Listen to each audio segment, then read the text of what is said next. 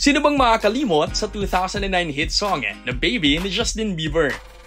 Mapapahataw ka na lang talaga habang kinakanta ang Baby, baby, baby, oh!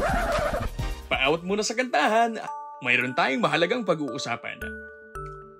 Ayon sa pag-aaral ng PIDS, marami sa mga batang Pilipino ang hindi natutugunan ang potensyal dahil sa malnutrisyon at kakulangan sa early childhood education o ang maagang pagpapayaman ng kognitibo, panlipunan, emosyonal at pisikal na paglaki ng bata.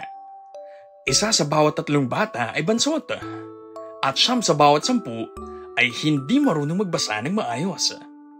Ang kakulangan ng tamang serbisyo sa first 1,000 days ni baby mula sa noong siya ipinagbubuntis pa lang hanggang sa kanyang ikalawang taon ay nagdudulot ng malaking epekto sa kanyang pagkatuto at paglaki. Inirerekomenda ng pag-aaral ang tatlong bagay.